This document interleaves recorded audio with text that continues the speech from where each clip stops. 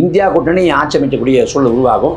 இல்லை வந்து பாஜகவே ஆட்சி அமைச்சா கூட இந்த ஐந்தாண்டுகள் ஆட்சிங்கிறது நீடிக்குமா நிலைக்குமாங்கிற கேள்வி. அப்படி நீடிச்சு நினைச்சா கூட கடந்த பத்தாண்டு காலத்தில் அவங்க எதேச்சதிகார போக்கோட சிஏஏ கொண்டு வந்ததாக இருக்கட்டும் ஜிஎஸ்டி கொண்டு வந்ததாக இருக்கட்டும் மத சார்பின்மைங்கிறத தூக்கிடலாம்.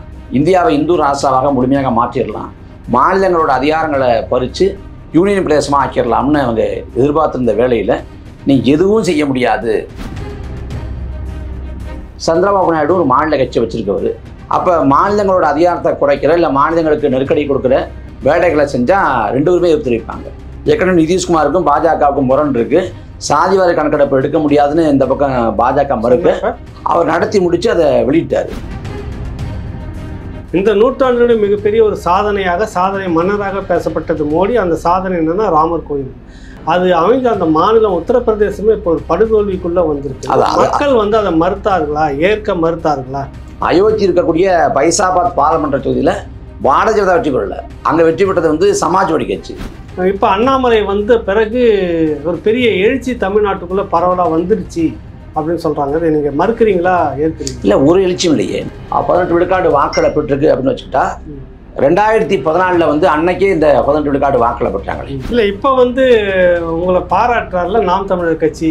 காசே கொடுக்காம வந்து இப்படிலாம் பாராட்டி பேசுறாருல நேற்று பார்த்தீங்களா ரெண்டாயிரத்தி பத்தொம்போதுலேயும் நம்ம காசு கொடுக்காம தான் தேர்தல் எதிர்கொண்டோம். ரெண்டாயிரத்தி பதினாறுலேயும் அப்படி தான் எதிர்கொண்டோம். ரெண்டாயிரத்தி இருபத்தொன்னுலேயும் அப்படி தான் எதிர்கொண்டோம். ஆனால் கடந்த முறை இப்படி பேசலையே.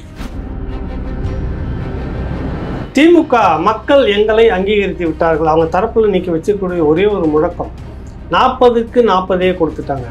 பிரச்சாரத்தில் சொன்னது நாற்பது நமதே நாலு நமதே அப்படின்னு சொன்னது நிறைவேறி இருக்கிறது. அந்த பாஜக எதிர்ப்பு தான் திமுகவுக்கு இங்கே வாக்களை பெற்றுக் கொடுத்துருக்க ஒழிய மற்றபடி இந்த ஆட்சிக்கான நற்சான்றெல்லாம் எடுத்துக்க முடியாது. இந்துத்துவாவை தொடர்ச்சியாக எதிர்ப்பார்கள் இனி வரும் காலத்தில். இந்த வேகம் அப்படி இருக்கும்னு நினைக்கிறீங்களா? இல்லை இங்கே வந்து ஆனால் இன்னைக்கு வரைக்கும் தமிழ்நாட்டோட லஞ்சமொழி ஒழிப்புத்துறை ஒரு வழக்கு போடல ஒரு விசாரணை பண்ணல. ஏன்னா அதை பண்ணால் மோடிக்கும் வரும் நாம் தமிழர் கட்சி வந்து அங்கீகரிக்கப்பட்ட கட்சியாக வந்திருக்கு. இதை எப்படி பார்க்குறீங்க? ரெண்டாயிரத்தி இருபத்தி நாலு இதனுடைய இது எப்படி இருக்கும்? விஜய் அவர்கள் ஒன்று இந்த கட்சி நோக்கி நகரதா அவருக்கும் விருப்பம் இருக்கிறதா சொல்ல வராங்க. ஒருவேளை ஒன்றுபட்டு இருவரும் நிற்கக்கூடிய வாய்ப்பு இருந்தால் என்ன நடக்கும்? இல்லை அதை களச்சூழலும் தான் தீர்மானிக்கணும்.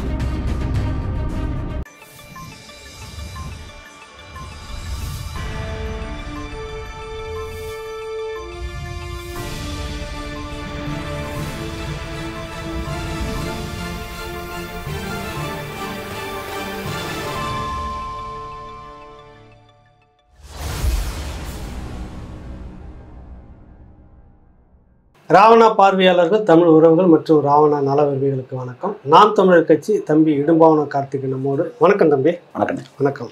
தேர்தல் பிரச்சாரம் முடிஞ்ச பிறகு சந்திக்கிறோம்னு நினைக்கிறோம். இடையில சந்திச்சோமா? ஆமாம் உதவி சொல்லுங்கள் சரி. ஒன்றும் இல்லை இப்போ தேர்தல் எல்லாம் முடிஞ்சு அதிகாரத்தில் உட்கார இடத்துக்கு வந்துட்டாங்க. எடுத்தோடனே தலை சுத்தல்னு சொல்லுவாங்களா அந்த மாதிரி. மோடி அவர்களுக்கு நிதிஷ் முதல்ல சந்திரபாபு நாயுடு ஒரு நிபந்தனை பழைய மாதிரி எங்களுக்கு சபாநாயகர் பதவி இன்னும் முக்கியமான கேபினெட்லாம் வந்து ரொம்ப அதிமுக்கியம் வாய்ந்ததெல்லாம் சிலர் கேட்டிருக்கிறதா சொல்லி ஒரு நெருக்கடி. இப்போ வந்து இவங்க சொல்ல வர்றது இன்னொன்று சொல்கிறாரு நிதிஷ் அவங்க தரப்பில் வந்துட்டு இந்த இராணுவ கொள்கைன்னு ஒன்று கொண்டு வந்திருந்தாங்களா அதுக்கு ஒரு பேர் அக்னி பார்த்து அக்னிபாத். அதுக்கு வந்துட்டு அதை வந்து மறுபரிசீலனை பண்ணணும்னு ஒன்று வைக்கிறாங்க. தொடக்கமே நல்லபடியாக தொடங்குது அப்படின்னு நான் நினைக்கிறேன். என்ன ஆகும்? அஞ்சு வருஷம் எப்படி இருக்கும் இந்த நெருக்கடி இல்லை பாஜக பொறுத்த வரைக்கும் மூன்றாவது முறையாக வந்து மோடி வென்றிருக்காரு. அதாவது நேருவோட சாதனையை வந்து சமன் ப- பண்ணியிருக்காரு சமன் செஞ்சிருக்காரு. ஆனால் பாஜகக்காரங்களால் அதை கொண்டாட முடியல. ஏன்னா நரேந்திர மோடியை பொறுத்த வரைக்கும் ஒரு பதிமூன்று ஆண்டு காலம் குஜராத்தோட முதலமைச்சர் இருந்திருக்காரு. பத்தாண்டு காலம் இந்தியாவின் பிரதமராக இருந்திருக்காரு. இந்த காலகட்டங்களில் அறுதி பெரும்பான்மையோட தனிப்பெருங்கட்சியாக அறுதி பெரும்பான்மையோட ஆட்சி அமர்ந்திருக்காரு. அவர் வைக்கிறதா சட்டம் அவர் வைக்கிறதா முடிவு எடுக்கிறதா முடிவு அது போகிறது தான் உத்தரவுங்கிற நிலதான் இருந்துச்சு. ஒரு எதேச்சதிகார போக்கும் ஒரு பெரிய மனப்பா மனப்போக்கு தான் இருந்துச்சு. ஆனால் இந்த முறை அப்படி செய்ய முடியாது. ஒரு கடிவாளம் போடப்பட்டது போல பாஜக சிக்கியிருக்கு. இன்னும் சொல்ல போனால் இந்த வரக்கூடிய ஐந்தாண்டு காலத்தில் அவங்க மிகப்பெரிய திட்டங்களை வச்சுருந்துருப்பாங்க. அடுத்த ரெண்டாயிரத்தி இருபத்தஞ்சு வந்து ஆர்எஸோட நூற்றாண்டு வருது. அப்போ ஆர்எஸ்எஸ் நூற்றாண்டு வர்றப்ப ஆர்எஸோட நேரடி செயல் திட்டங்களாக சொல்லப்பட்ட ஒன்று வந்து பொது சிவில் சட்டம். ஏற்கனவே ராமர் கோவில் கட்டிட்டாங்க. அப்புறம் வந்து காஷ்மீரோட மாநில தன்மையை பறிச்சிட்டாங்க. மிச்சம் இருக்கிறது அது மட்டும்தான். அதையும் நிறைவேற்றிடலாம். இந்தியாவோட அரசியலமைப்பு சாசனத்தை மாற்றிடலாம் மத சார்பின்மைங்கிறத தூக்கிடலாம். இந்தியாவை இந்து ராசாவாக முழுமையாக மாற்றிடலாம். மாநிலங்களோட அதிகாரங்களை பறித்து யூனியன் பிரதேசமாக ஆக்கிடலாம்னு அவங்க எதிர்பார்த்துருந்த வேலையில் நீ எதுவும் செய்ய முடியாது. அடக்குமுறை செலுத்தலாம் ஒடுக்குமுறை செலுத்தலாம் ஊழல் செய்யலாம் லஞ்சம் லாவண்யம்னு ஈடுபடலாம் கூடிய அரசமைப்பு சட்ட திருத்தமோ இல்லை பெரிய கொள்கை முடிவுகளோ எடுக்க முடியாதுங்கிற அளவுக்கு பெரிய கிடுக்குப்பிடி வந்து பாஜகவுக்கு போடப்பட்டிருக்கு. அதில் நிதிஷ்குமாரும் ஒரு மாநில கட்சியை வச்சுருக்கவர் சந்திரபாபு நாயுடு ஒரு மாநில கட்சியை வச்சுருக்கவர். அப்போ மாநிலங்களோட அதிகாரத்தை குறைக்கிற இல்லை மாநிலங்களுக்கு நெருக்கடி கொடுக்குற வேலைகளை செஞ்சால் ரெண்டு பேருமே எதிர்த்து தெரிவிப்பாங்க ஏற்கனவே நிதிஷ்குமாருக்கும் பாஜகவுக்கும் முரண் இருக்குது சாதிவாரி கணக்கெடுப்பு எடுக்க முடியாதுன்னு இந்த பக்கம் பாஜக மறுக்க அவர் நடத்தி முடித்து அதை வெளியிட்டார். க தேர்தலுக்கு முன்பாக சந்திரபாபு நாயுடு வந்து மோடியை சந்திக்க நேரம் கட்டப்ப நேரமே கொடுக்கப்படலை. இன்றைக்கி அவங்க ரெண்டு பேரும் ஆதிக்கம் செய்கிற நிலைக்கு வர்றாங்க. ஒருத்தங்க பன்னெண்டுன்னு ஒருத்தர் பதினாறுன்னு மொத்தம் இருபத்தெட்டு இடங்கள் தான் வச்சுருக்காங்க ஒட்டு மொத்தமாக ஆனால் அந்த இருபத்தெட்டு இடங்கள்ங்கிறது பெரிய தீர்மானிக்க இடத்துல இருக்குது ரெண்டாயிரத்தி பதினாலில் வந்து நரேந்திர மோடி இரநூத்தி எண்பத்தி ரெண்டு இடங்களில் வெற்றி பெறாரு. அதுக்கு பிறகு ரெண்டாயிரத்தி பத்தொம்போதில் முந்நூற்றி மூணு இடங்களில் வெற்றி பெறாரு.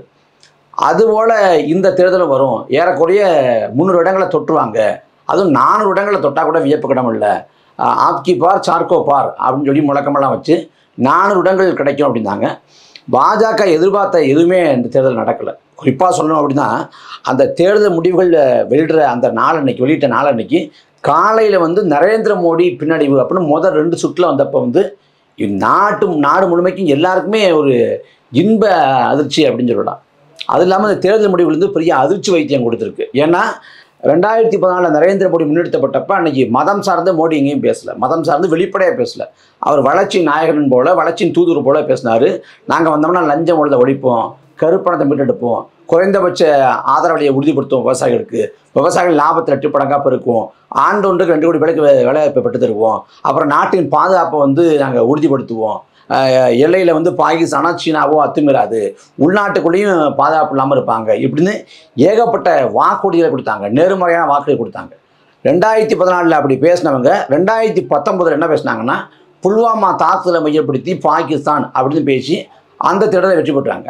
ஆனால் ரெண்டாயிரத்தி இருபத்தொன்னில் வந்து இருபத்தி நாலில் வந்து அவருக்கு என்ன பண்ணுறது தெரியாமல் அவங்களோட பழைய யுக்தியை கையில் எடுத்துட்டாங்க. மதம் சார்ந்த அவரே வந்து கடவுள் ஆ அவதாரம் மதம் சார்ந்த பரப்புரை. நீங்கள் கவனிச்சு பார்த்தா தெரியும். ரெண்டாயிரத்தி பதினாலில் மோடி சொன்னது நான் ஏழை தாயின் மகன் ரெண்டாயிரத்தி பதினாலில் ஏழை தாயின் மகன். ரெண்டாயிரத்தி பத்தொம்போதில் நான் வந்து பிரதமரில் நான் ஒரு காமலாடி என்னை வந்து இங்கே ஜவிதார்னு நினைக்கலான்னாரு அப்போ ஜவிதார் ரெண்டாயிரத்தி பத்தொம்போதில் கடைசியாக இப்போ ரெண்டாயிரத்தி இருபத்தி நாலில் நான் மனித பிறவியே இல்லை நான் பயாலஜிக்கலாக பிறக்கலை நான் தெய்வ பிறவி அப்படின்ட்டு அப்போ ஒவ்வொரு தேர்தலையும் ஒவ்வொரு வேடம் போடுறாரு. இந்த தேர்தலில் முதற்கட்ட தேர்தல் வந்து தமிழ்நாடு உள்ளிட்ட தென் மாநிலங்கள் நடைபெற்றதால் அப்போ மதம் சார்ந்த பரப்புரை வைக்கல.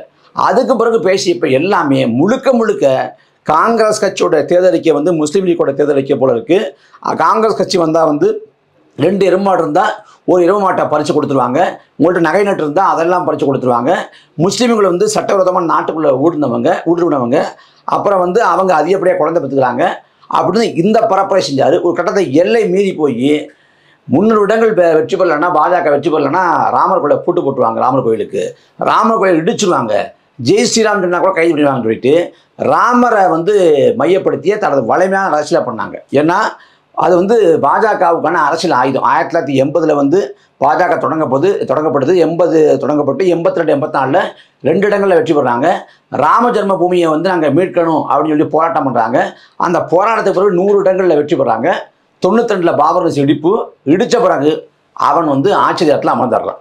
அப்படி அவங்கள கை கொடுத்து வளர்த்து விட்டது ராமர் கோயில் அரசியல். அதில் இந்த ஆண்டு ரெண்டாயிரத்தி இருபத்தி நாலில் ஜனவரி மாதம் ராமர் கோயில் திறக்கப்பட்டிருக்கு. அப்போ இந்த முறை வந்து அது வட மாநிலங்களில் உத்தரப்பிரதேசம் தாண்டி எல்லா மாநிலங்களையும் எதிரொலிக்கும். அப்போ வந்து தங்கு தடை இல்லாமல் வெற்றி பெறலாங்கிற இங்க தான் ஒரு இடம் குறிக்கிறதுக்கு மன்னிக்கணும். இப்ப என்னன்னா இவங்க முதன்மையா வந்து இந்த மதம் சார்ந்த குறிப்பா இந்துத்துவா ராமர் இதை தான் வந்து தூக்கி பிடிச்சு அதில் வெற்றி கண்டதாக தான் சொல்ல வராங்க. அதாவது யாரும் சாதிக்க முடியாத இந்த நூற்றாண்டினுடைய மிகப்பெரிய ஒரு சாதனையாக சாதனை மன்னராக பேசப்பட்டது மோடி. அந்த சாதனை என்னன்னா ராமர் கோயில். அது அமைஞ்ச அந்த மாநிலம் உத்தரப்பிரதேசமே இப்போ ஒரு படுதோல்விக்குள்ள வந்திருக்கு. மக்கள் வந்து அதை மறுத்தார்களா? ஏற்க மறுத்தார்களா? புறந்தள்ளினார்களா? இந்த சாதனை இல்லை அப்படின்னு சொல்ல வராங்க. அதான் இது ராமர் கோயில் வந்து புரியலவன் நம்பினாங்க. ரெண்டாயிரத்தி இருபத்தி நாலில் வந்து ஜனவரி மாதம் திறந்தப்ப அது எந்த மாதிரி தாக்கத்தை ஏற்படுத்துங்கிறத பார்த்துட்டு தேர்தலை முடி வைக்கிறதா பிரடி வைக்கிறதான்னு கூட முடிவு பண்ணிக்கலாங்கிற அளவுக்கு சொன்னாங்க. ஆனால் கடைசியில் வந்து அதை பெருசாக எதிர்பார்த்து அதனால தான் ராமர் ராமர்னு அதை பேசினார். மதம் சார்ந்த பரப்புரைகளை அதிகப்படியாக வச்சார். கடைசி இடத்துல பார்த்தா அந்த உத்தரப்பிரதேசமே கை கொடுக்கல. அயோத்தி இருக்கக்கூடிய பைசாபாத் பாராளுமன்ற தொகுதியில் பாரதிய ஜனதா வெற்றி பெறல. அங்கே வெற்றி பெற்றது வந்து சமாஜ்வாடி கட்சி.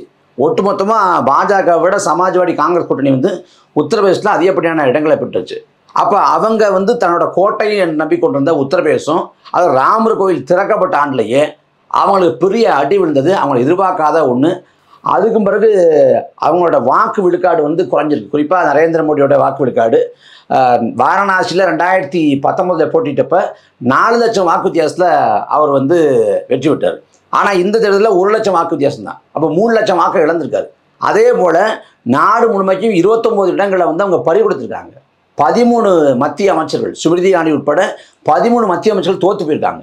அப்போ பாஜகவுக்கு வந்து இவ்வளோ நாள் அவங்க பேசுனதுக்கும் வந்த முடிவுகளுக்கும் பெரிய அவங்களுக்கு பெரிய அதிர்ச்சியாக இருக்குது அதனால் இவங்களால் அந்த இதுக்கு ஏற்கவே முடியல. மூணாவது முறை ஆட்சி அமைக்கிற முறை ஏற்க முடியல. அவங்க வந்து தனிப்பெரும்பான்மை வராமல் கூட்டணி கட்சியோட தயவில் தான் பெரும்பான்மைங்கிறப்பவே அவங்களுக்கு வந்து எல்லா பக்கமும் கதவுகள் பூட்டப்பட்டுருச்சு. இல்ல ராமர் கை கொடுக்கலீங்களா? ராமர் ராமர் கோயில் கை ராமரை நம்பாத ஒரு இடத்துல ராமரை நம்பாம தானே தன்னை கடவுள் சொல்லிட்டாரு. தன்னை கடவுள் சொல்லிட்டு நான் தெய்வ பிறவி நான் வந்து பயாலஜிக்கலாக பிறக்கலை. ஏன் நான் வந்த பூமிக்கு வந்த நோக்கமே வேற அப்படின்னு நான் பேச காரணமே ராமர் இனி கை கொடுக்காது. இனிமேல் நம்மளே கடவுள் சொல்ல வேண்டியதாங்கிற நிலைக்கு போனார். அப்போ எல்லாமே கை கொடுக்கல. இன்னைக்கு வந்து நிதிஷ்குமார் சந்திரபாபு நாயுடு அவங்களுக்குள்ள ஒரு மனமாற்றம் நிகழ்ந்து அவங்க அணி மாறினாங்கன்னா இந்தியா கூட்டணி ஆட்சி அமைக்கக்கூடிய சூழல் உருவாகும். இல்லை வந்து பாஜகவே ஆட்சி அமைச்சா கூட இந்த ஐந்தாண்டுகள் ஆட்சிங்கிறது நீடிக்குமா நிலைக்குமாங்கிற கேள்வி. அப்படி நீடிச்சு நிலைச்சா கூட கடந்த பத்தாண்டு காலத்தில் அவங்க எதேச்சதிகார போக்கோட சிஏஏ கொண்டு வந்ததாக இருக்கட்டும் ஜிஎஸ்டி கொண்டு வந்ததாக இருக்கட்டும் இந்த மாநில உரிமைகளுக்கு எதிராக அவங்க செஞ்சதெல்லாம் இனி செய்ய முடியுமாங்கிறது பெரிய கேள்விக்குறி. அதில் வந்து நிதிஷ்குமார் வந்து இந்தியா கூட்டணியோட முக்கியமான தலைவராக இருந்தார். அவர் கடைசி இடத்துல அந்த பாஜக பக்கம் தாவினார். பாஜக பக்கம் போன பிறகு மோடி வச்சுட்டு மேடலில் பேசுகிறார் நிதிஷ்குமார். நான் இனி மாற மாட்டேன் ஒரு இடத்துல இருப்பேன் அப்படின்னு சொன்னோடனே மேடலில் உட்காந்து நரேந்திர மோடியை விழுந்து வந்து சிக்கிறார் அப்போ அவருக்கே நம்பிக்கை இல்லை. அவருக்கு அப்போ என்னைக்கு வேணாலும் நிதிஷ்குமாரும் இந்த பக்கம் சந்திரபாபு நாயுடும் காலை வாய் விடலாம். இன்னும் சொல்லப்போனால் தமிழ்நாட்டில் வந்து அண்ணாமலையால் தான் அந்த கூட்டணி பிளக்கப்பட்டுச்சு பிரிஞ்சிச்சுங்கிறாங்க. ஒருவேளை அண்ணாமலை செஞ்சுருந்தாருன்னா செஞ்சிருந்தாருன்னா அது வந்து நம் நாட்டு மக்களுக்கு செஞ்ச பெரிய நன்மை. ஏன்னா இருபத்தாறு இடங்களுக்காக தான் இன்றைக்கி வந்து நிதிஷ்குமார்கிட்ட சந்திரபாபு நாயுடுகிட்ட வந்து கோரிக்கை வைக்கிறாங்க. அந்த பக்கம் சந்திரபாபு நாயுடு வந்து சிறப்பு மாநில அந்தஸ்து கேட்குறாரு. அந்த பக்கம் நிதிஷ்குமார் வந்து அவர் பல துறைகளை கேட்டிருக்காரு பல துறைகளை கேட்குறாரு. இந்த பக்கம் சந்திரபாபு நாயுடு வந்து உள்துறை அமைச்சகத்தை கொடுங்க பாதுகாப்பை கொடுங்க இராணுவத்தை கொடுங்கன்னு இவரும் கேட்டுட்டு இருக்காரு. அது மட்டும் இல்லாமல் பல கோரிக்கைகளை வச்சு நெருக்கடியை கொடுக்குறாங்க. எப்படி வந்து வாஜ்பாய் காலத்தில் ஜெயலலிதா பல கோரிக்கைகளை வச்சு நெருக்கடி கொடுத்து வாஜ்பாய் வந்து பதவி இழந்த பிறகு நான் அந்த பதிமூணு மாதத்தில் நிம்மதியே இல்லாமல் இருந்தேன். இன்னைக்கு வந்து பிரதமராக இருப்பானா? பிரதமர் பதவி விட்டு இறங்கி இறக்கி வேணாம்னு சொல்லிட்டு தயக்கத்திலே ஒவ்வொரு நாளும் தூங்க போவேன் அப்படின்னு சொன்னாரோ? அதே போல வாஜ்பாய் நிலை வந்து நரேந்திர மோடிக்கு மீண்டும் வரப்போகுது. அப்போ இந்த ஆட்சி எவ்வாறு இருக்க போகுது அப்படிங்கிறத நம்ம பொறுத்து பார்க்கலாம். இது வந்து நல்லாட்சியாக இருக்க இல்லை ஒரு மோசமான ஆட்சியாக தான் இருக்க போகுது. ஆனாலும் கூட பாஜக பழையபடி ஆட்டம் போட முடியாது. மோடிங்கிற அந்த பிம்பம் சரிந்து விழத் தொடங்கி விட்டது என்பதை தான் இந்த தேர்தல் முடிவுகள் காட்டுது. செம்மை ஆசான் மா செந்தமிழனுடன் இணைந்திருக்க யூடியூப் தளம் யூடியூப் டாட் காம் ஸ்லாஷ் செம்மை மரபுப்பள்ளி யூடியூப் டாட் காம் ஸ்லாஷ் செம்மை கல்வி மின்னஞ்சல் முகவரி செம்மை வனம் அட் ஜிமெயில் டாட் காம் செம்மை நூல்கள் எல்லா செம்மை நிகழ்வுகளிலும் கிடைக்கும். புத்தகம் வாங்குவதற்கு செம்மை வெளியீட்டக வாட்ஸ்அப் எண் ஒன்பது மூன்று எட்டு ஐந்து ஐந்து மூன்று எட்டு ஒன்பது ஏழு ஆறு. இங்க கதாநாயகர் வந்துட்டு அண்ணாமலை பாரதிய ஜனதா கட்சி. சொன்ன மாதிரி ஒரு பதினஞ்சு தொகுதிக்கு குறையாம எடுத்திருந்தாருன்னா ஓரளவுக்கு அது நின்று இருந்திருக்கும். அதுக்கு வாய்ப்பு இல்லாமல் போனது ஒரு பக்கம் அப்படின்ற மாதிரி சொல்றாங்க. இப்போ அண்ணாமலை வந்த பிறகு ஒரு பெரிய எழுச்சி தமிழ்நாட்டுக்குள்ள பரவலாக வந்துருச்சு. அப்படின்னு சொல்றாங்க இதை நீங்க மறுக்கிறீங்களா ஏற்கிறீங்களா இல்லை ஒரு எழுச்சியும் இல்லையே இன்னைக்கு வந்து பதினெட்டு விழுக்காடு வந்து வாக்குகளை ஒட்டுமொத்தமாக. அந்த கூட்டணி பெற்றிருக்கு பதினெட்டு விழுக்காடு வாக்களை பெற்றிருக்கு அப்படின்னு வச்சுக்கிட்டா. ரெண்டாயிரத்தி பதினாலில் வந்து அன்னைக்கே இந்த பதினெட்டு விழுக்காடு வாக்களை பெற்றாங்களே. அன்னைக்கு வைகோ விஜயகாந்த் அன்புமணி ராமதாஸ் அப்புறம் வந்து பாரிவேந்தர். கொங்கு ஈஸ்வரன் பாஜக அன்னைக்கு பொன் ராதாகிருஷ்ணன் தலைமையிலான பாஜக இவங்க எல்லாரும் சேர்ந்து அன்னைக்கே பெற்றாங்களே அப்போ அன்னைக்கே பதினெட்டு விழுக்காடு பெற்றாங்க. இன்னும் சொல்ல போனால் ரெண்டாயிரத்தி பதினாலில் ரெண்டு இடங்களில் வெற்றி பெற்றாங்க. பொன் ராதாகிருஷ்ணன் கன்னியாகுமரி வெற்றி பெற்றாரு. இந்த பக்கம் அன்புமணி ராமதாஸ் வந்து தருமபுரி வெற்றி பெற்றாரு. ஆனால் இந்த முறை வந்து ஒரு இடம் கூட வெற்றி பெற முடியலையே. யார் முகமாக முன்னெடுத்தப்பட்டாங்களோ அந்த அண்ணாமலை வெற்றி பெற முடியலையே. பொன் ராதாகிருஷ்ணன் வந்து தனி அணி அமைச்சு அன்னைக்கு போட்டிட்டப்ப பொன் ராதாகிருஷ்ணன் வெற்றி பெற்றார். ஆனால் அண்ணாமலை வந்து வெற்றி பெற முடியலையே. அந்த வாக்கு வாக்கு விவரங்கள் விடப்பட்ட தேர்தல் முடிவில் விடப்பட்ட அன்னைக்கு முன்னிலைன்னு ஒரு இடத்துல கூட வரல. அந்த கடைசி வரைக்கும் இருபதாயிரம் வாக்கு முப்பா வாக்கு வித்தியாசம் அப்படின்னா அந்த வித்தியாசம் வந்து அது போய்க்கொண்டே இருந்துச்ச ஒழிய வெற்றி பெறுவார்னு ஒரு அனுமானம் கூட வைக்க முடியல. சொல்ல போனால் ரெண்டாயிரத்தி இருபத்தாறு இலக்கு எங்களுக்கு இப்போ அதுதான் அதை வந்து நாங்கள் சாதிச்சிருவோன்றாங்கல்ல இல்ல அண்ணாமலை இது போல மட்டும் பேசலையே. ரெண்டாயிரத்தி இருபத்தி நாலுக்கு பிறகு நாம் தமிழக கட்சி இருக்காதுனாரு. ரெண்டாயிரத்தி இருபத்தி நாலுக்கு பிறகு பாஜக வந்து பெரிய அளவில் அந்த பா- பாராளுமன்ற தேர்தல் முடிவுக்கு பிறகு பெருசு அளவில் இதாகும்னாரு. ம். ஆனா அவர் தேர்தல் முடி தேர்தல் முடிவெல்லாம் வேண்டியில்லை. தேர்தல் அன்னைக்கே வந்து அவர் முடிவுக்கு வந்துட்டார். வாக்குப்பதிவு தொடங்கி ஒரு மூணு மணி நேரம் நாலு மணி நேரத்துல முடிவுக்கு வந்துட்டார் என்ன முடிவு வந்துட்டாரு அதாவது வாக்குப்பதிவு விவரங்கள் எவ்வளோங்கிறத ஒன்றரை நாள் வரைக்கும் தேர்தல் ஆணையம் குழப்பி கூட இருந்துச்சு. துல்லியமாக திட்டவட்டமாக சொல்ல முடியாமல் மாறி மாறி ஒரு மூணு தடவை மாறி மாறி சொன்னாங்க ஆனால் அப்படி அதையே சொல்ல முடியாத காலகட்டத்தில் ஒரு மூணு மணி நேரம் நாலு மணி நேரத்தில். ஒரு லட்சம் வாக்காளர்களோட பெயர் பட்டியலில் வந்து பெயர் பட்டியலேருந்து ஒரு லட்சம் வாக்காளர்கள் நீக்கப்பட்டிருக்காங்க அப்படின்னு புதிய ஒரு கதையை சொன்னார். அதுக்கு முறை மாவட்ட ஆட்சி விளக்கம் சொல்கிறப்ப அங்கீகரிக்கப்பட்ட கட்சினா பூத் ஏஜென்ட் இருப்பாங்க. அந்த வாக்கக முகவர் இருப்பாங்க. அவங்களோட கலந்தாய்வு பண்ணி அவங்கள்ட்ட பேசி அவங்களுக்கு தெரியப்படுத்தான் நீக்குதோ நீக்கிறதோ சேர்க்கிறதோ நாங்கள் செய்வோம். அப்படிலாம் இங்கே எதுவுமே நிகழத அப்படின்னு தெரியப்படுத்திட்டார். ஆனாலும் அந்த கருத்து வாக்கத்துக்கு உயிர் கொடுக்கணுங்கிறதுனால ஒரு ஆர்ப்பாட்டம் பண்ணுறாரு ஒரு ஐம்பது பேரை வச்சுக்கிட்டு ஆர்ப்பாட்டம் பண்ண வைக்கிறார். ஐம்பது பேர் வந்து கையில் கைப்பதாக எழுந்திக்கிட்டு நான் உயிரோடு இங்கே இருக்கேன். என் வாக்கு எங்க? அப்படின்னு கைப்பதாக எழுந்திருக்காங்க. கை விரல்ல பார்த்தா மை ஓ வாக்கு செலுத்தியதற்கான மை இருக்கு. அப்படி எல்லா கைவிரலையும் பார்த்தா எல்லா கைவிரலையும் மை இருக்கு. ம். கேட்டா வந்து வாக்கு செலுத்தாதவங்களுக்காக வாக்கு செலுத்தவங்க போராட்டம் பண்ணாங்க அப்படின்னு சொல்றாங்க. அப்ப செலுத்துறவங்களே போராட்டம் பண்றாங்கன்னா செலுத்தாதவங்க எங்க போனாங்க? அது ஒரு லட்சம் பேர் ஒரு ஆயிரம் பேர் கூட தள்ள மாட்டாங்க. அப்படி ஒரு லட்சம் பேர் வாக்கு பறிக்கப்பட்டு வச்சா கூட. அந்த ஒரு லட்சம் வாக்கும் பாஜகவோட வாக்குங்களுக்கான உறுதிப்பாடு என்ன. அப்ப அது எல்லாமே வந்து தோல்வி கற்பிக்கப்பட்ட காரணம். அதையே காரணமாக காட்டி திரும்ப கோயம்புத்தூர்ல வந்து தேர்தல் முடிவை வெளியிட வேணா வெளியிடா வேணா தடுக்கணும்னு சொல்லிட்டு யாரோ ஒருத்தர் நீதிமன்றத்தில் மனு போடுறாரு. அப்போ எல்லாமே தன் தோல்வியை மறைக்க எவ்வளோ முயற்சி பண்ணாரு. இப்போ தோத்து போயிட்டாருன்னொன்னே அப்படியே மென்மையாக பக்குவப்பட்டது போல பண்பட்டது போல அப்படியே எல்லாரையும் பாராட்டி அரவணைச்சு பேசுறாரு. மக்களோட முடிவை ஏற்றுக்கிறேன் அப்படின்னு. இல்ல இப்ப வந்து உங்களை பாராட்டுறாருல நாம் தமிழர் கட்சி. காசே கொடுக்காம வந்து இப்படிலாம் பாராட்டி பேசுறாருல நேத்து பாத்தீங்களா? ரெண்டாயிரத்தி பத்தொன்பதுலேயும் நம்ம காசு கொடுக்காம தான் தேர்தல் எதிர்கொண்டோம். ரெண்டாயிரத்தி பதினாறுலேயும் அப்படி தான் எதிர்கொண்டோம். ரெண்டாயிரத்தி இருபத்தொன்னுலேயும் அப்படி தான் எதிர்கொண்டோம். ஆனால் கடந்த முறை இப்படி பேசலையே. இப்போ ஏன் பேசுறாருன்னா இப்படி பேசி தான் ஆகணும். பேசி தான் சமாளிக்க முடியும். இல்லைன்னா எதிர்கொள்ள முடியாது. கடந்த காலத்தில் வந்து நாம் தமிழர் கட்சி இதே போல தான் இருந்துச்சு. அப்படிலாம் ஒன்றும் பாராட்டலையே. அப்போ காரணம் என்னன்னா எண்ணெயை சோதனையை வந்து ஏறி விட்டதில் அண்ணாமலைக்கு பங்கு இருக்குது நாம் தமிழர் கட்சியோட விவசாய சின்னம் பறிக்கப்பட்டதில் அண்ணாமலைக்கு பங்கு இருக்குது. நாம் தமிழர் கட்சி கட்சி வந்து ரெண்டாயிரத்தி இருபத்தி நாலுக்கு பிறகு இருக்காதுன்னு சொன்னாரு இன்னைக்கு வந்து கட்சியெல்லாம் கலைக்கக்கூடாது அது கட்சி தேவை தமிழ்நாட்டுக்கு தேவை. திராவிட எதிர்ப்பு அரசியல் பேசுறாங்க அந்த அரசியல் வேணும் அப்படின்னு சொல்றவர் ரெண்டாயிரத்தி இருபத்தி நாலுக்கு பிறகு நாம் தமிழர் கட்சி இருக்காதுன்னு சொன்னார்ல தேர்தலுக்கு பிறகு இருக்காது ரெண்டாயிரத்தி அதான் ரெண்டாயிரத்தி இருபத்தி நாலு தேர்தல் பிறகு இருக்காதுன்னு சொன்னார்ல அப்பயும் திராவிட எதிர்ப்பு அரசியல் தான் பேசணும். அப்போ கண்டு தெரியலையே. அப்போ இப்போ வந்து இதுதான் சூழல் யதார்த்த கலை சூழல் புரிஞ்சிருக்கு ம். இனி அடக்கி தான் வாய்ச்சாகணும். ஏன்னா இங்கேயும் வெற்றி பெற முடியல அங்கேயும் பெரும்பான்மை பெற முடியல அங்கே பெரும்பான்மைக்கு தேவையான எண்ணிக்கையை தமிழ்நாட்டிலேருந்தே பெற்றிருக்கலாம். கொஞ்சம் வந்து கொஞ்சம் வந்து அந்த அதிமுக பாஜக கூட்டணி இருந்து. திமுக மீதான அதிருப்தியை வந்து இவங்க அறுவடை பண்ணியிருந்தாங்கன்னா சில இடங்களை பெற்றிருக்க முடியும் ஏன்னா ரெண்டாயிரத்தி இருபது இருபத்தி ஒன்று சட்டமன்ற தேர்தலில் அவ்வளோ பெரிய அதிருப்தி பத்தாண்டுகள் அதிமுக ஆட்சி மீதான அதிருப்தியை வந்து கொங்கு மண்டலத்திலேருந்து அறுவடை பண்ண முடியல. அறுவடை பண்ண முடியாமல் அங்கே வந்து அதிமுக ஜெயிச்சிச்சு கொங்கு மண்டலத்தில். அதே போல் செஞ்சிருக்க முடியும். அப்போ அண்ணாமலை வந்து இருபது இடங்களை பெற்று கொடுத்துருந்தாருன்னா. பாஜக வந்து அதிமுக சேர்ந்து இப்போ பாஜகவுக்கு வந்து மத்தியில் வந்து பெரிய பலமாக இருந்திருக்குமே. இப்போ அந்த இருபத்தாறு இடம் இல்லாமல் தானே அவங்க தள்ளிட்டு இருக்காங்க அப்போ எப்படி பார்த்தாலும் இதில் வந்து அண்ணாமலை வந்து இனி அமைதியாக இருக்க வேண்டியதான் ரெண்டாயிரத்தி இருபத்தாறு இருபத்தாறு வரைக்கும். ரெண்டாயிரத்தி இருபத்தாறு வரைக்கும் தான் அண்ணாமலை வச்சுருப்பாங்க. ஏன்னா வந்து ரெண்டாயிரத்தி இருபத்தாறுலேயும் வெற்றி பெற முடியலன்னா ஒரு தோத்து போன ஒரு ப்ராடக்ட்டை வந்து யாரும் வந்து விற்பனை பண்ண மாட்டாங்க. நீங்கள் ரெண்டாயிரத்தி இருபத்தொன்று வாய்ப்பு கொடுத்தாங்க வெற்றி பெறல. ரெண்டாயிரத்தி இருபத்தி நாலு வாய்ப்பு கொடுத்தாங்க வெற்றி பெறல. ரெண்டாயிரத்தி இருபத்தாறுலேயும் ஒன்றும் பண்ண முடியலன்னா அதுக்கு பிறகு அண்ணாமலை தூக்கப்பட்டு யாராவது இன்னொருத்தர் வந்து இறக்கப்படுவார். இல்ல அதுக்கு முன்பாகவே அவர் மாற்றப்படுவார்ன்ற மாதிரி சொல்றாங்க. சரி அது அவங்க கட்சி விவகாரம் நம்ம இன்னொரு விவகாரத்துக்குள்ள வருவோம். தேமுதிக அஹ் பிரேமலதா அவர்கள் சொல்லக்கூடிய வார்த்தை என்னுடைய மகனுடைய வெற்றியை சதி செய்து வீழ்த்திட்டாங்க. போட்டியில் வந்து வீழ்த்தலை. அது சின்ன சரி சின்ன பையன்றதை கூட பார்க்காம விஜய்க்கு வச்சு அனுப்பியிருந்தாங்கன்னா நான் அந்த கட்சியை வந்து எவ்வளவோ இது நீர் பண்ணுற மாதிரி அந்த வார்த்தை. அந்த பக்கம் எதிர் வேட்பாளராக அந்த மாணிக் தாகூர் வெற்றி பெற்றவர் காங்கிரஸ் ஆகுதுன்றாரு இங்கிருந்து போகிற வரைக்கும் வெற்றியை ஒப்புக்கொண்டு நல்லபடியாக தான் இங்கிருந்து கிளம்பி போனாங்க. கையெழுத்து போட்டு அப்போ இந்த மாதிரிலாம் இது குறை அது குறை அது இது இது எதுவுமே சொல்லவே இல்லை. இப்போ மெட்ராஸில் போயிட்டு ரூம் போட்டு யோசிச்சுட்டு இதெல்லாம் சொல்ல வராங்களான்னு அவர் ஒரு குற்றச்சாட்டாக வைக்கிறாரு. இப்போ இந்த அம்மா சொல்கிறது இந்த குற்றச்சாட்டுக்கு பதில் சதி செய்துட்டாங்கன்றது ஒன்று சொல்கிறாங்க அதுக்கு அடுத்தது வந்து மறுவாக்கு எண்ணிக்கை பண்ணணும் அப்படின்னு ஒன்று சொல்கிறாங்க அப்புறம் வந்து பார்த்தீங்கன்னாக்கா ஒரு சின்ன பையன் நீங்கள் இதெல்லாம் பா சின்ன பையனு கூட பார்க்காம ஜெயிக்க வச்சுருந்தீங்கன்னா அப்படின்ற வார்த்தையெல்லாம் சொல்கிறாங்க என்ன என்ன நடக்கிறீங்க இதில்? இதில் இது வந்து கொஞ்சம் கூட முதிர்ச்சி இல்லாத அரசியலில் புரிதல் இல்லாத பேச்சு. அரசியலில் வந்து சின்ன பையனா பெரிய பையன். இருபத்தஞ்சி வயசை கடந்துட்டா சட்டமன்ற தேர்தலில் போட்டி போடலாங்கிறாங்க. அதே போல் பாராளுமன்ற தேர்தலுக்கு ஒரு வயது வரம்பு வைக்கப்பட்டிருக்கு. அதில் வந்து வயசானவர் போனா போகட்டும் ஜெயிக்க வைக்க வந்தாங்கன்னா அவங்க கிளம்பல அப்படிலாம் பார்க்க முடியாது. சின்ன பையன் பெரிய பையன்லாம் பார்க்க முடியாது.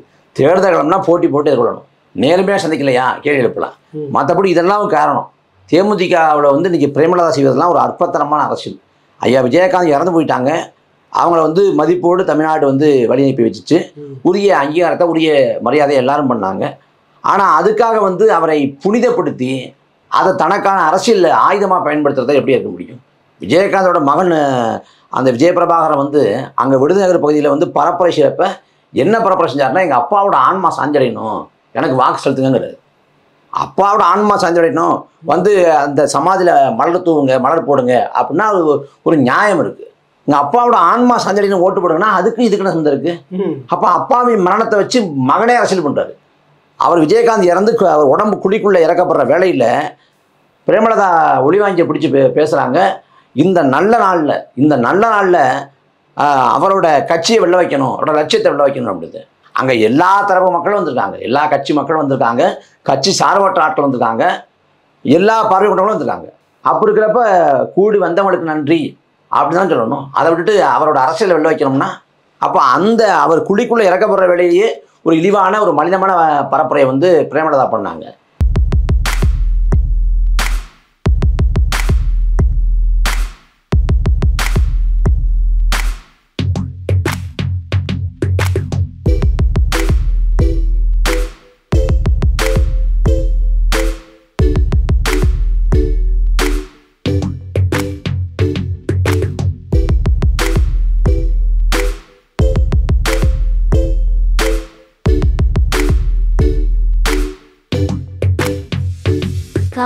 எஸ் பாலாவின் கைவண்ணத்தில் உங்கள் கார்ட்டூன் வேண்டுமா? தொடர்பு கொள்ளுங்கள். ஒன்பது ஐந்து ஆறு ஆறு ஒன்று நான்கு ஏழு ஏழு மூன்று மூன்று lines media works at Gmail dot com. இப்போ வந்து தோத்து போனதுக்கு வந்து சரி இந்த தடவை ஒரு அஞ்சு ஐயாயிரம் வாக்கு வித்தியாசத்தில் நாங்கள் தோத்துட்டோம். மறுபடியும் அடுத்த தேர்தல் காலத்தில் நாங்கள் வெற்றி பெறுவோம். மக்களின் முடிவை ஏற்றுக்கிறோம் அப்படின்னா அது நியாயம். அதை விட்டுவிட்டு சின்ன பையன் பார்க்காம ஜெயிக்க வைக்காமல் தோக்கடிச்சிட்டிங்க அப்படின்னா சின்ன பையனையாக தேர்ந்தெடுத்துறீங்க? அவர் எல்லாமே வந்து ஒரு என்ன சொல்கிறது சின்ன பையனை அவரை ஜெயிக்க வச்சிடணுமா? சின்ன பையன் போய் பார்லமெண்ட்டுக்கு போய் என்ன போகிறேன் அங்கே பார்லமெண்ட் இருக்கிறது எல்லாமே இப்போ பெரிய ஆளில் தான் இருப்பாங்க. அப்போ பெரிய ஆள் கூட சின்ன பையன் போகணும்னு கேட்கலாம்ல?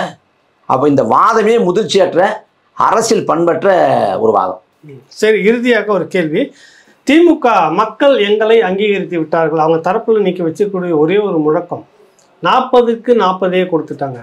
பிரச்சாரத்தில் சொன்னது நாற்பது நமதே நாலு நமதே அப்படின்னு சொன்னது நிறைவேறி இருக்கிறது.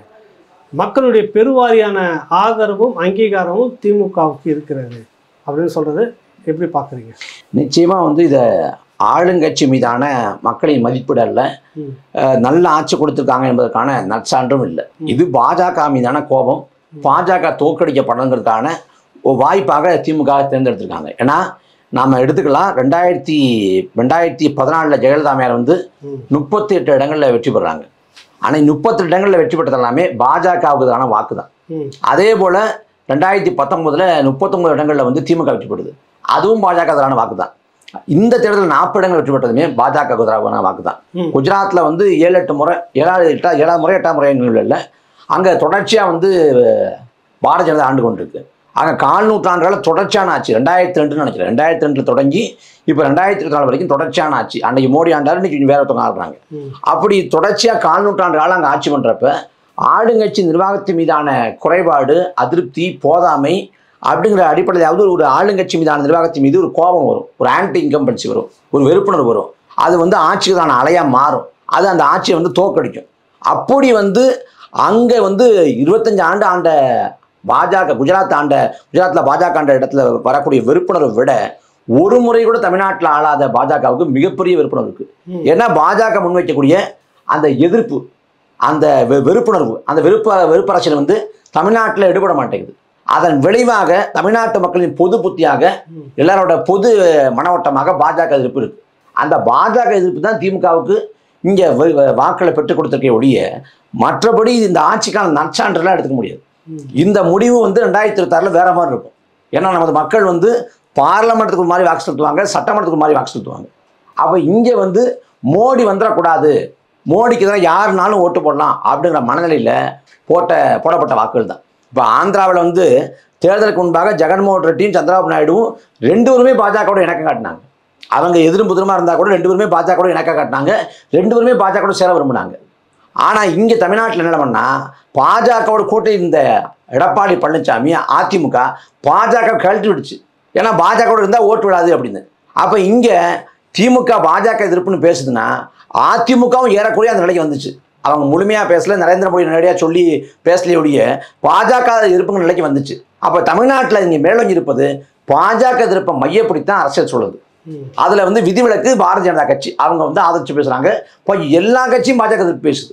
அப்போ அந்த அடிப்படையில் இந்த பாஜக எதிர்ப்பு வாக்கு வந்து மோடி மீதான அதிருப்தி பாஜக மீதான எதிர்ப்பு எதிர்ப்புணர்வு திமுகவை கை கொடுத்துக்க ஒழிய இவங்க ஆட்சியை அங்கீகரிச்சு மக்கள் ஓட்டு போடல. சரி அந்த வாக்குகளை பெற்ற திமுக பாஜக மோடியை இந்துத்துவாவை தொடர்ச்சியாக எதிர்ப்பார்கள் இனி வரும் காலத்துல இந்த வேகம் அப்படி இருக்கும்னு நினைக்கிறீங்களா இல்லை இங்கே வந்து திமுக பாஜக எதிர்ப்பது போல ஒரு கோட்பாட்டு வேடம் போடுது அது கடந்த காலம் தொட்டு இப்போ வரைக்கும் கோட்பாட்டு வேடம் போடுறாங்க.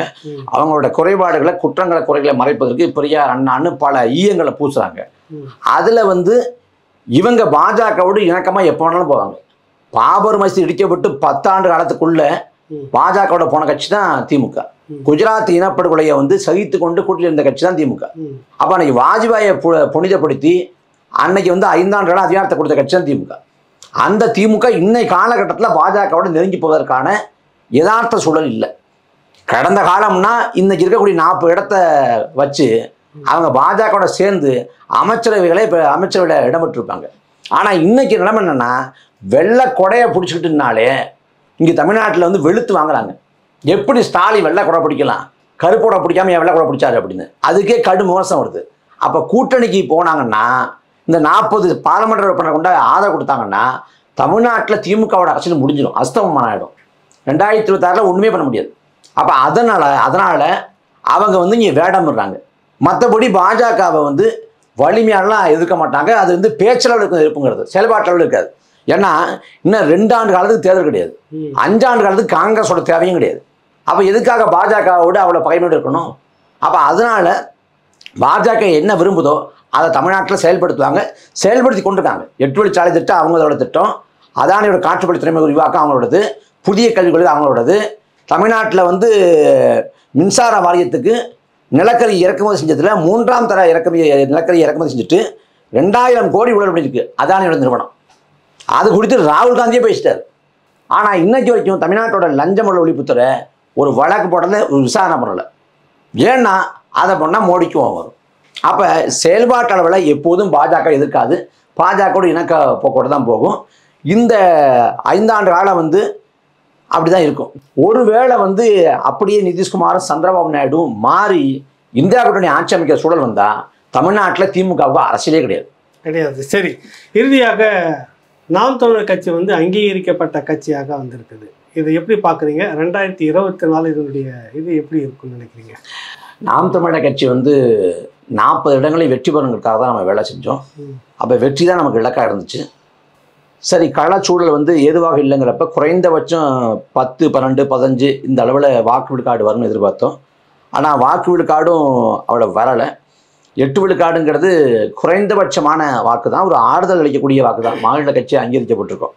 இப்போ வந்து கால் நூற்றாண்டு கால காத்திருப்பு அண்ணா திருமாவுக்கு. ஐயா வைகோவுக்கு இன்றைக்கி வரைக்கும் நிறைவேறலை கனவு நிறைவேறலை. இந்த பக்கம் கம்யூனிஸ்டுகளே அங்கீகாரத்தை இழக்கிறாங்க. எட்டு மாவட்டங்களில் பெரிய செல்வாக்கு கொண்டிருக்கக்கூடிய அடர்த்தியான வாக்கு வங்கி கொண்டிருக்கக்கூடிய பாமக வந்து அவங்க இன்றைக்கி அங்கீகரிக்கப்பட்ட கட்சியாக இல்லை நாம் எட்டே ஆண்டு ரெண்டாயிரத்தி பதினாறில் போட்டி போட்டோம் ரெண்டாயிரத்தி இருபத்தி நாலில் எட்டே ஆண்டு காலத்தில் வந்து எட்டு விழுக்காட்டுக்கு மேலே வாக்களை பெற்று மாநில கட்சியை மாநில கட்சியால் அங்கீகரிக்கப்பட்டிருக்கோம். அந்த அடிப்படையில் இனி வந்து அனைத்து கட்சி கூட்டத்தில் வந்து நாம் தமிழக கட்சியை தவிர்க்க முடியாது. ஊடகங்கள் நாம் தமிழக கட்சியை புறக்கணிக்க முடியாது. சின்னம் ஒரு பிரச்சனையாக இருக்காது. வரக்கூடிய விக்ரவாண்டு இடைத்தேர்தலையே விவசாய சின்னத்தில் நாம் தமிழக கட்சி மறுபடியும் போட்டி போடும். அதில் வந்து நமக்கு மகிழ்ச்சி தான். ஆனால் வந்து இது போதுமானதாக இல்லை. இது நமக்கு ஏமாற்றம் தான். ஆனால் வந்து பின்னடைவு இல்லை. ஏன்னா நம்ம பாராளுமன்ற உறுப்பினர்களை கொண்டு இருந்து அவங்க வந்து மக்களுக்காக வேலை செய்யாமல் மக்களுக்கு குரல் எழுப்பாமல் அவங்க தோற்று போயிருந்தாங்கன்னா பின்னடைவுன்னு அப்படின்னு பார்க்கலாம். ஆனால் நாம் பாராளுமன்ற உறுப்பினர்களை பெறலையே. சட்டமன்ற உறுப்பினர்களை பெறலையே. நம்ம ஒன்று புள்ளி ஒன்றுலேருந்து நான்கு ஏழு எட்டுன்னு வந்திருக்கோம். அப்போ நம்ம வந்து முன்னோக்கி தான் போய் கொண்டிருக்கோம். பின்னோக்கி போகலை. என்ன ஒன்று இருபத்தஞ்சி விழுக்காடு அளவுக்கு வாக்களை பெற்றால் தான் அது பாராளுமன்ற உறுப்பினராக சட்டமன்ற உறுப்பினராக மாறுது. இங்கே நம்ம இந்த அந்த அளவுக்கு நம்ம போகலை. போய் போவதற்கான வேலைகளை செஞ்சுட்டு இருக்கிறோம். அது ஜெர்மனி போன்ற நாடுகள் இருப்பது போல் விகிதாச்சார பிரதிநிதித்துவ முறை இருந்திருந்தால் நமக்கு பாராளுமன்ற உறுப்பினர் கிடச்சிருப்பாங்க சட்டமன்ற உறுப்பினர் கிடச்சிருப்பாங்க. ஆனால் இந்த அமைப்பு முறையில் ஐம்பத்தோரு வாக்களை பெற்றவங்க வெற்றி நாற்பத்தொம்பது வாக்களை பெற்றவங்க தோல்வி நாற்பத்தொம்பது வாக்களை பெற்றவங்களும் எந்த பிரதித்துவம் கிடையாது. அப்போ இந்த முறைக்குள்ளே இப்படி தான் போட வேண்டியிருக்கு. இதில் வந்து இதில் கற்றுக்கொண்ட பாடத்தை படிப்பினை உணர்ந்து ரெண்டாயிரத்தி இருபத்தாறில் களத்தை நமதாக மாற்றுவோம் ரெண்டாயிரத்தி இருபத்தி ரெண்டாயிரத்தி இருபத்தி நாலில் அங்கீகாரத்தப்பட்டிருக்கோம். மாநில கட்சிங்க அங்கீகாரத்தப்பட்டிருக்கோம். ரெண்டாயிரத்தி இருபத்தாறில் மாநிலத்தில் ஆட்சி அதிகாரத்தை பெறுவோங்கிறதுக்காக அதை நோக்கி உழைப்போம். இப்போ அதை நோக்கி போகிறதுக்கு வந்து இன்னொரு வார்த்தை பேசப்படுறது இறுதியாக அந்த கேள்வி ஒன்று விஜய் அவர்கள் ஒன்று இந்த கட்சி நோக்கி நகர்றதா அவருக்கும் விருப்பம் இருக்கிறதா சொல்ல வராங்க. ஒருவேளை ஒன்றுபட்டு இருவரும் நிற்கக்கூடிய வாய்ப்பு இருந்தால் என்ன நடக்கும்? அப்படி ஒரு முடிவு இருக்கா? இல்லை அதை களச்சூழலும் காலமும் தான் தீர்மானிக்கணும். நாம் வந்து ஒரு தத்துவத்தை வச்சுருக்கோம். பிளாட்டோ சொல்கிறான் நாட்டை தத்துவ ஞானிகளை தலைமையற்ற ஆளுங்கிறான் நாம் ஒருபடி போய் மே மேலே போய் வந்து நாட்டை தத்துவங்களே ஆளுங்கிறோம். நாம் ஆளக்கூடிய தத்துவமாக தமிழ் தேசியங்கிற தத்துவத்தை வச்சுருக்கோம். தமிழர் தமிழரினோட தமிழரோட அறம் சார்ந்த ஆட்சி தான் ஆளுங்கிறோம்.